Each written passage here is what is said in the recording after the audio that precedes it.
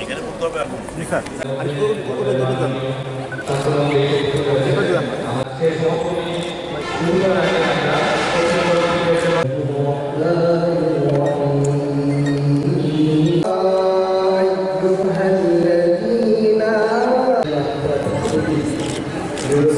سبحان ربك رب العزة عما يصفون وسلام على Sheikh Faridul Islam Mujib Memorial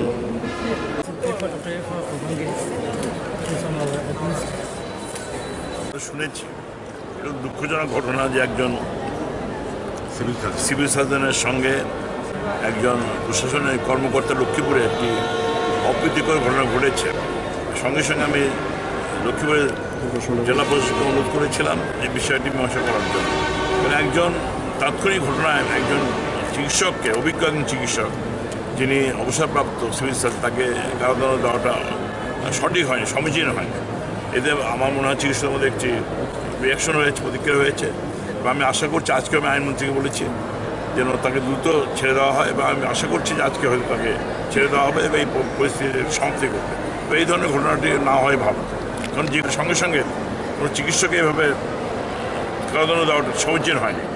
সামান্য ঘটনা কেন্দ্র করে যদি সঙ্গে সঙ্গে ব্যবস্থা না হয়, তো রিয়াকশন হয়তো প্রশাসনও আমাদের কর্মকর্তা, চিকিৎসকরা আমাদের কর্মকর্তা, জনগণের সেবা দিচ্ছে, সবাই সেবা দিচ্ছে। এমন এই ধরনের ঘটনার পুনরাবৃত্তি হওয়া উচিত না।